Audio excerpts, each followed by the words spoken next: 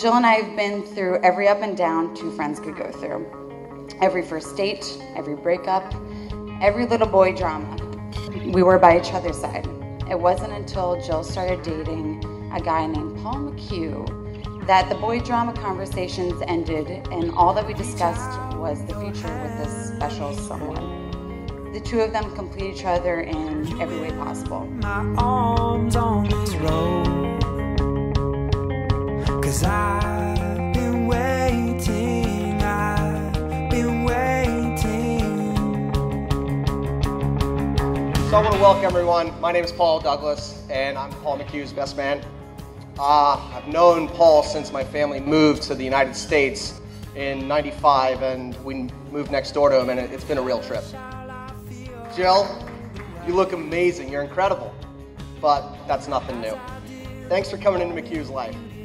The kid needs people to make decisions for him. You're caring, thoughtful, smart, funny, and you're obviously beautiful. Come to think of it, you're me in the female form.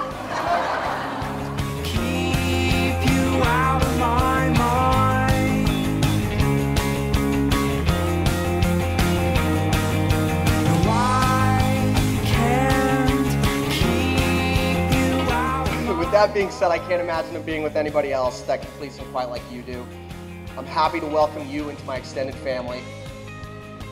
There are a few things Paul loves more than one, golf, and two, Duke. Jill quickly became top of that list.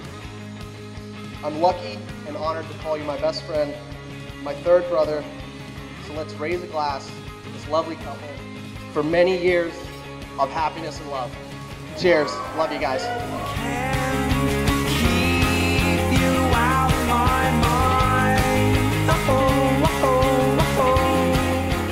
So, over the years, I've been lucky enough to watch Jill and Paul start out as friends and grow into something awesome. They appreciate each other, they enjoy each other, and they complement each other perfectly. I am so happy that I know my best friend has met her perfect match. I cannot wait to see what the future has in store for the two of you. I know it will be nothing short of amazing. And on that note, everyone, please raise your glass to the happy couple, Jill and Paul. I love you both.